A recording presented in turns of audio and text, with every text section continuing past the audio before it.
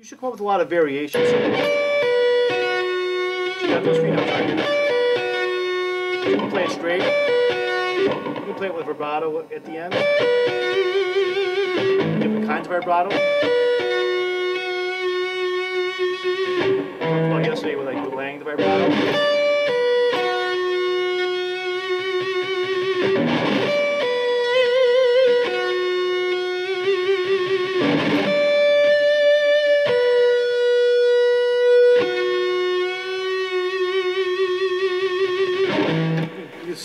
All day and come up with thousands of combinations of things to do with those three notes. Thousands. Okay? So the goal isn't to sit here and play those three notes the same way all the time. Okay? We're not here to perfect that. Right. Okay? Does that make sense? Yeah. Okay. You can also change the order of the notes, right?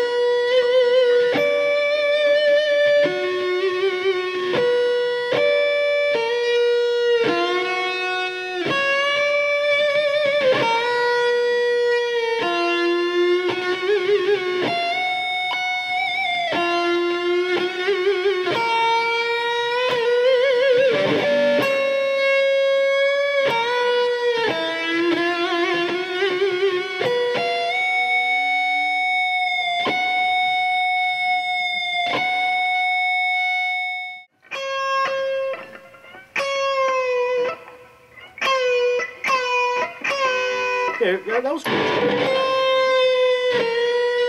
Try this. So we're gonna pre-bend the B like you did.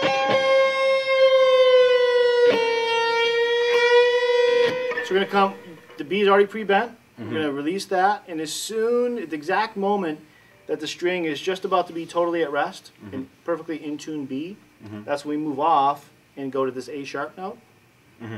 Note below and come up to the B. So Right, so it's gonna be like this, right? It's gonna be like that.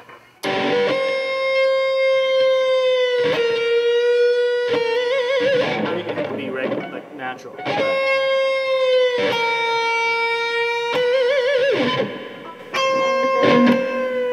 mean, you, you can really think of that as an ornament of one note, right? It's Yeah. really just all B here. Kind of sounds like three notes, but it's really not three notes.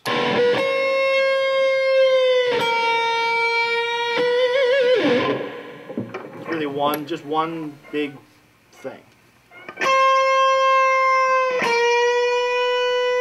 Okay, now that, that's cool, mm-hmm. but if you want to do the vibrato thing at the uh-huh. end on the B, mm-hmm. then that has to start seamlessly when the A sharp note is bent perfectly in tune to B. You can't bend it to B and then move to the B and do vibrato. I mean, you can, but it's not as cool.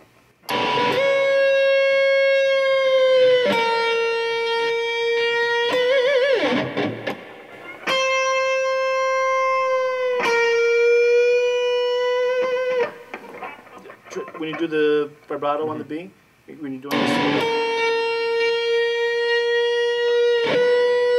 you switch from the A sharp being bent to B to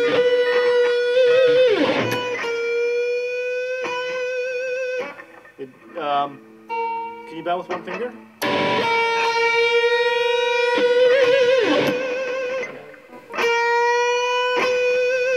Good, but you have to get to the B before the A sharp is. I mean, just at the exact moment when your ear would perceive the A sharp as being perfectly in tune with the B, that's when the B has to happen here. It happens any millisecond later, it's not cool anymore. Yeah, good. You just gotta calm down the vibrato a little bit.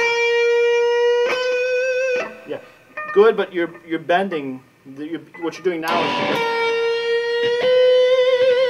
this is not in tune because the string is still bent okay. A sharp. So when this comes down, this finger has to release the string so it's not that.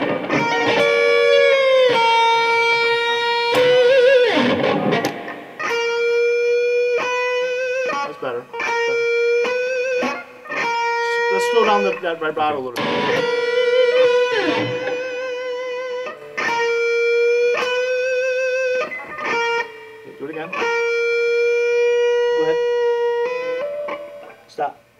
Look at your B string. Okay. Take your hand off. Look at the B string. Okay. The string is already bent. Got it. It should be down here because what we're hearing is the note here. We're hearing an out of tune B instead of an in tune B. Got it. So when that B comes, that string must be down here.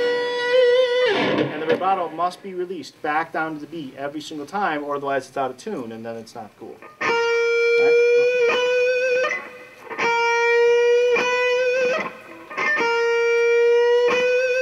So slow down, but it's too fast right now. Let's try something else. Okay.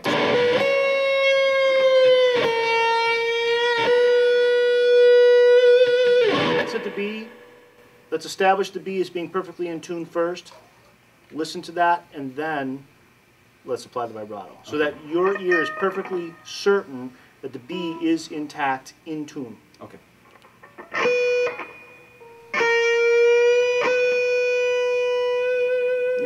Again. Yes, you're still bending. Stop. Ah, you moved. Sorry. It was slightly bent. Look, look here. Okay. You were, you were like this, Okay. and it caused the B to be slightly out of tune. We don't want that.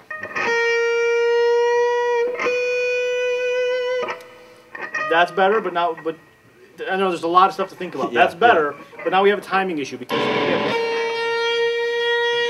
Oh, let me stop. Get in position.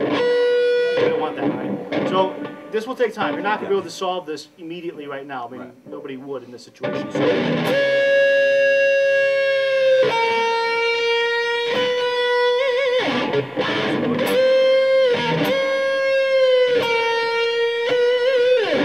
That could be really cool. Yeah. You're just out of basically one note. Okay. Phrasing, All right. vibrato. Cool. All right.